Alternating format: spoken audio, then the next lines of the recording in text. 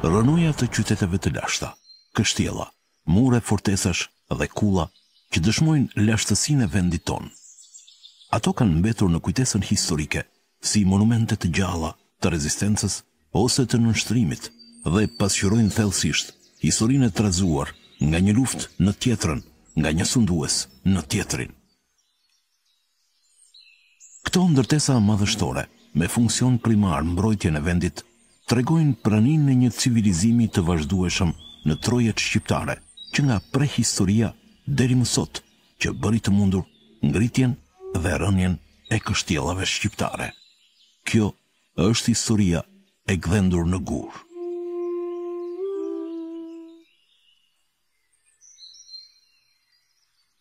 Kalaja e Lezhës është nga ato kala shqiptare, ku pejsazhi i përrallor ndërthuret me magjinë e lashtësisë, Dhe e bëjnë këtë vend një nga më të bukurit e më të rëndësishmit në historinë shqiptare. E vendosur mbi një pikë strategjike, në majën e një kodre në formë piramide të Malit të Shelbumit, kjo kala të ofron një pamje treqind e gjashtëdhjetë gradë nga ku sheh si lumi Drin i jep fund rrugëtimit të vet nëpër Shqipëri.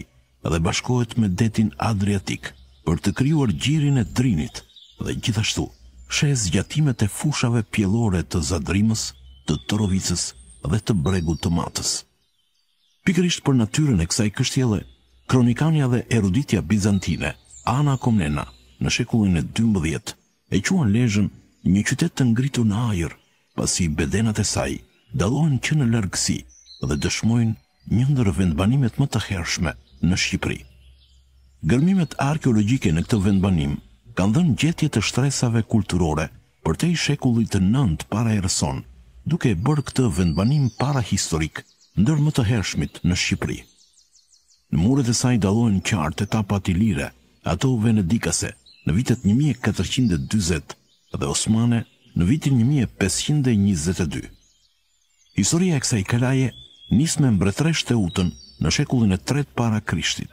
Në atë kohë, Lezha funksionon si qytet bregdetar dhe njëkohësisht si liman lumor në skajin më jugor të Shtetit ilir të Ardianëve dhe spikat si pikë strategjike për lëvizjen e flotës ushtarake detare ilire dhe bëhet një qendër emblematike prej kësaj kalaje, Teuta riorganizoi dhe fuqizoi flotën detare ilire për operacionet luftarake ndaj Epidamnit, Korkyrës, qyteteve të tjera të Greqisë, deri në thellësi të Mesdheut. Filipi i Pestë i Maqedonisë tentoi disa herë të merrte kalanë, Ai e mori atë vetëm në vitin dyqind e trembëdhjetë para erës sonë, por pushtimi maqedonas qe i shkurtër.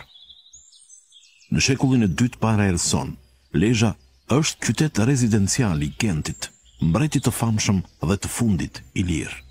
Sipas kronikave historike, Genti u pozicionua në luftë të hapur kundër romakëve, Ky veprim i Gentit pati një kundërveprim të fuqishëm të romakëve dhe në luftën iliro-romake të vitit njëqind e gjashtëdhjetë e tetë para Krishtit, Genti u dorëzua.